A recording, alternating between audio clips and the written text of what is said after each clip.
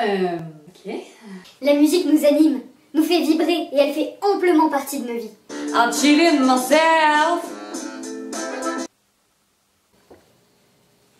Et du coup, de celle de nos animaux de compagnie aussi. Effectivement, mais l'utilisation de la musique peut être intéressante pour tous les animaux. De par ses propriétés apaisantes. Donc, si je suis stressée, un petit coup de slipknot me calmera. Non. Globalement, d'après les différentes études menées, les musiques douces seront plus appropriées. Et puis c'est logique, la musique douce apaise. Old pirates, yeah, they roll high, sold I to the merchant ships. Alors qu'un morceau rapide, rythmé ou trop fort va nous ambiancer et même énerver certains de nos chiens.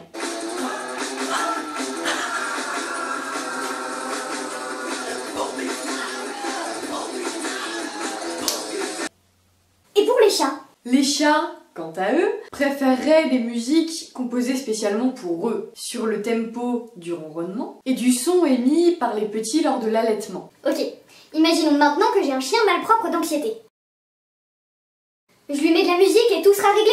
Tu rêves La musicothérapie est à utiliser en parallèle d'une solution comportementale. Elle aidera à apaiser, mais au préalable, un comportementaliste devra trouver la source du problème. Donc, la musicothérapie n'est pas une solution miracle. C'est une petite poutre supplémentaire dans l'architecture qui nous aidera à maintenir la structure afin de repartir sur des bases solides. Sur YouTube, en tapant musicothérapie chien, chat ou musique relaxante pour dormir, etc., on trouve tout un répertoire à durée plus ou moins longue en fonction de nos besoins.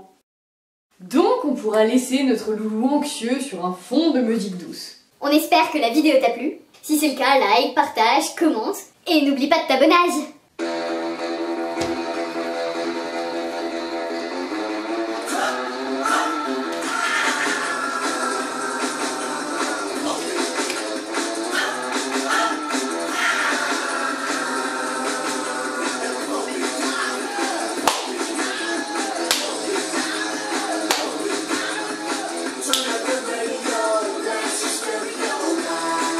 Ah, je me suis défoncée